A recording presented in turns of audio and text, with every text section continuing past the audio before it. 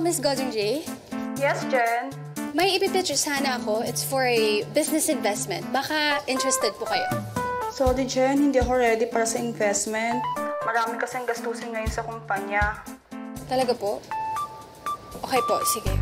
Ah, pasensya na ha. Pasensya na, Jen. Patagal na lang ako kay Ellie. Alright po, I'll send your regards.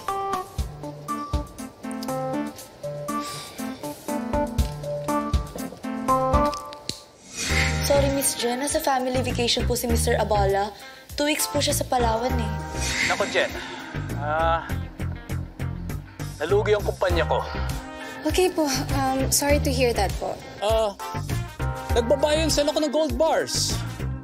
Tunay to. Hindi fake. Um... Baka gusto mo bumili. Mm, no, thank you po. Thank you na lang. Sige, call you again.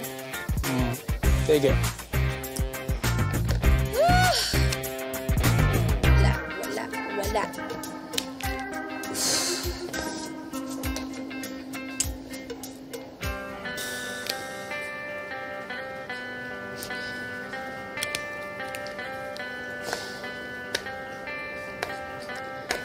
Phone ko na kaya si Franco.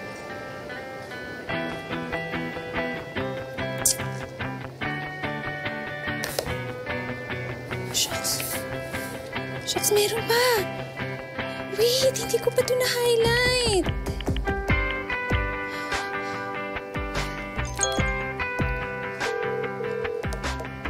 Hello, Mr. Bonifacio?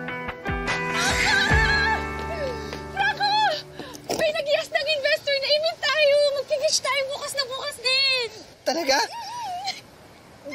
Jen, salamat, Jen. Sabi ko naman sa'yo, huwag kang mawala ng pag-asa eh. Teka lang ah. Pi- pitching eh, no? Oo. Okay, pitching. Kailangan ko pagandaan yun ah. Tutulungan na kita. Tutulungan mo din ako doon? Oo. Dali, baka mamaya niyan ako na magbayad sa'yo ah.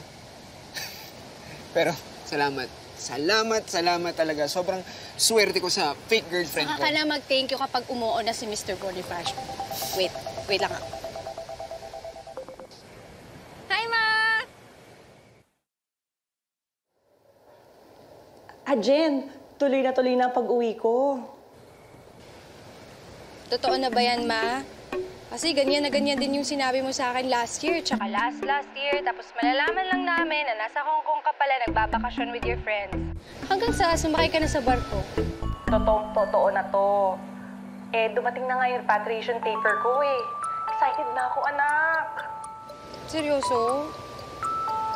Seryoso yan, ah? Naku, ayun lang ha, binalita ko lang sa'yo. Tapos na kasi merienda break ko. Balik na ako sa trabaho. Bye na! Sige, Ma.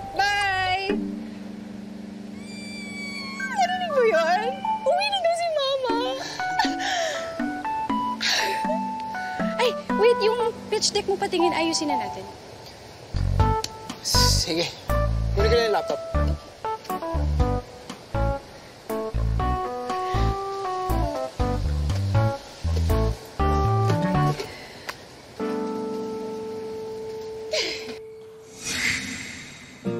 Ah, okay naman yung content, pero parang para sa akin nalulumaan ako sa design ng PowerPoint.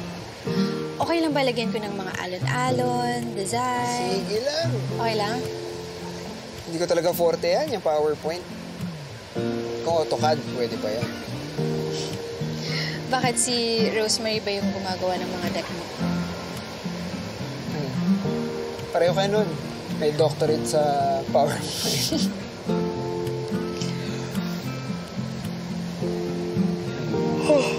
Naantok ka na. Hindi ah. Tapos na natin gawin yan. Hindi, tatapusin natin. Ikaw kasi nagpa-beer ka pa eh. Sorry ah. Pero Jen, salamat talaga. Thank you. Anong salamat? Uy, 40% ng company sa akin.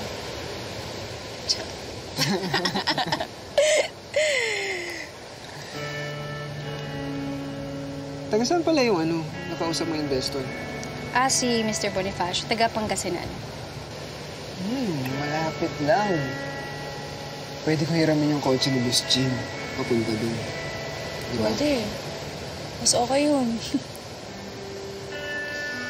Anong oras na? Dito ka na mag-dinner. Lalabas na ako sandali. Bibili akong pagkain. Anong gusto mo? Parang ang sarap maglechon manok mo. Lechon. Oo, sarap nga.